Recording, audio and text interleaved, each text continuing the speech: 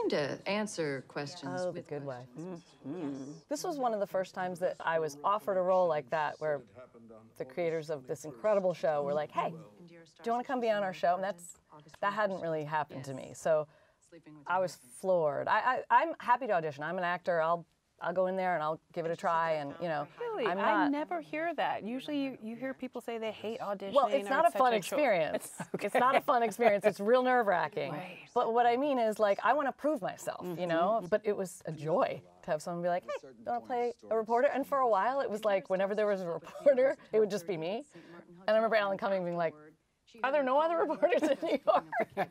I was like, shut up. No, it's just me. Were you a fan of the show prior to joining? Or Yeah, well, I always loved Alan Cumming. I mean, from, from his theater days. Although it was funny to me, I was like, you look so good in a suit. He's like, yeah, this is me in drag.